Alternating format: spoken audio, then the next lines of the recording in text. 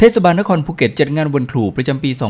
2559 เพื่อระลึกถึงพระคุณและเชิดชูเกียรติ วิชาชีพครู พร้อมมอบเกียรติบัตรและเข็มที่ระลึกแก่ครูที่ได้รับรางวัล 1 0 0 0 0แสนครูดี และครูดีสีภูเก็ต ที่ห้อง grand ballroom ชั้น 2 โรงแรมรอยัลภูเก็ตซิตี้ จังหวัดภูเก็ต นางสาวสมใจ สุวรรณสุภพนา นายกเทศมนตรีนครภูเก็ต เป็นประธานในพิธีเปิดงานวันครูประจำปี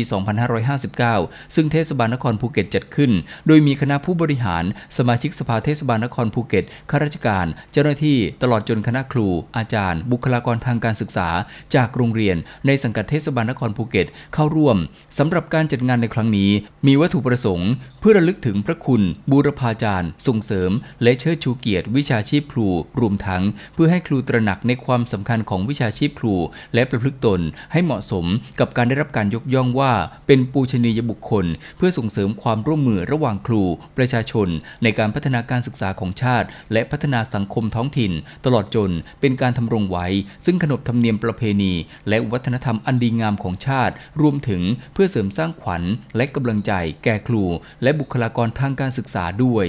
ทั้งนี้ในช่วงเช้าภายในงานมีการทำบุญตักบาตรข้าวสาร อาหารแห้ง แก่พระภิกษุสงฆ์จำนวน 9 รูป ต่อจากนั้น นายกเทศมนตรีนครภูเก็ต ได้อ่านสารจากรัฐมนตรีว่าการกระทรวงศึกษาธิการพลเอกดาวพงศ์รัตนสุวรรณ เนื่องในโอกาสวันครูครั้งที่ 60 ประจำปี